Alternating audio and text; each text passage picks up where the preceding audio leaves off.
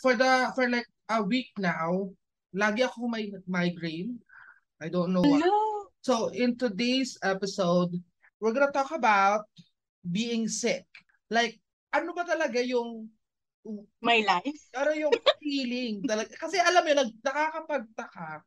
Pero, you know, I don't want I don't want to be I don't want to go into deep and be serious about it, but at the same time, like there are a lot of things na right now dahil sa weather, tapos of course, we are still currently recovering from COVID and then meron pang, ano ba yun, monkeypox ba yun? Sakit ng Yes, like- peki. Monkey, monkeypox and there's actually a new one but let's never never mind. Boy, dog style lang ginagawa ko, hindi monkey. Ah. Holy mother of God. Anyway. Ay, clean recording ba to? Oh, nagre-record na tayo dahil. This is a Cup of Coffee podcast.